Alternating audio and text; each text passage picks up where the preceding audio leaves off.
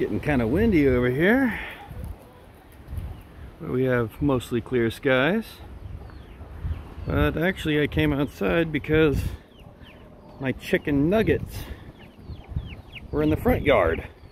Of course they're in the back now. There's all uh, seven of us. Which is how many there should be. But uh,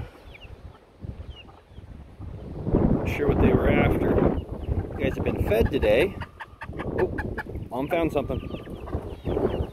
Feeding the uh, chicken nuggets there, mom? Yeah? Gonna the camera? No?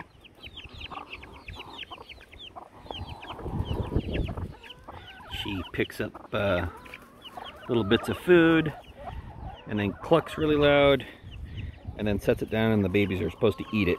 They do a pretty good job. But they're getting pretty big. You guys ready for the hurricane tonight? Yep. Yep, we are. We like humidity. It allows uh, bugs to come out, which we really enjoy. Thank you for photobombing me there, Alaric. Alaric, who's a good boy. You're a good boy.